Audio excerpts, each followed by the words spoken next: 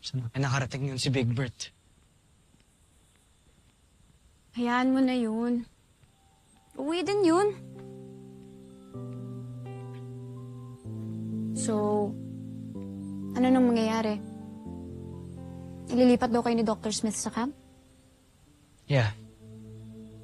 Actually, mas okay sa akin na doon na kami sa camp. Para mas mabilis kami tawagin pag may threat. Maraming memories dito. Kaya sana dumating na si Big Bird para makapag-impake na kami. Tulungan na lang kita. Tara. Tulungan mo ako. Oo.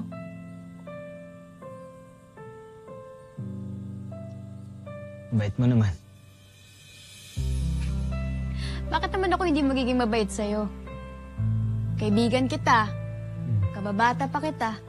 Oh, so ano yung rason? Bagay. Pero ikaw, friend ba yung tingin mo sa akin? I'm sorry, what? Ha?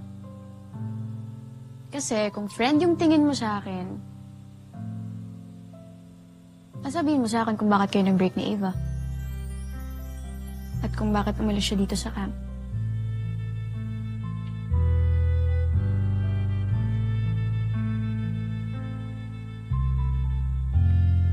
Oh. o bakit di ka makasagot ngayon? Kung may problema, no? So tama nga yung mga kapatid mo nung sinabi nila may crush kang iba. Sino na nga kasi? Sabihin mo na nga kasi sa akin. Sige na. Eh, I'm sorry, pero feeling ko this is not the right moment to talk about it. Ang dami kong iniisip yung pag-iimpake, si Mama. Nga pala. Sorry. Napakabuli kaya sa akin nun. 'Di ba? Kaya good riddance na rin na wala na siya.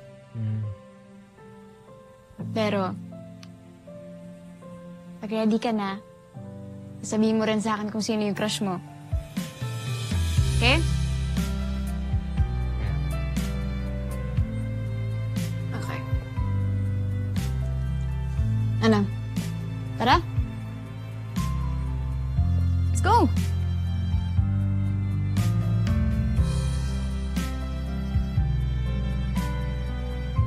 Commander Armstrong, let's go! Yes, ma'am. Very good.